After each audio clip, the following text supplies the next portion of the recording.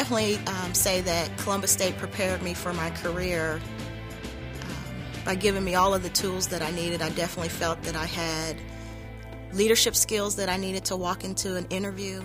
I definitely felt like I had the knowledge um, of all the accounting areas um, to, to work in any type of environment, whether it was auditing, tax, general accounting. It didn't matter. I felt prepared to interview in any in any area. The one thing that Columbus State taught me is about um, lifelong learning. You know, you never stop learning, and a great place to come is here. You need to know that your instructors care what you're going to do once you walk out the door.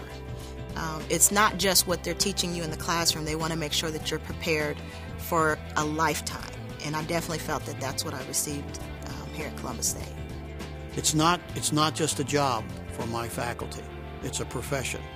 They take very seriously the kinds of things that they're going to put into a course and whether that information is really going to help students succeed when they leave Columbus State.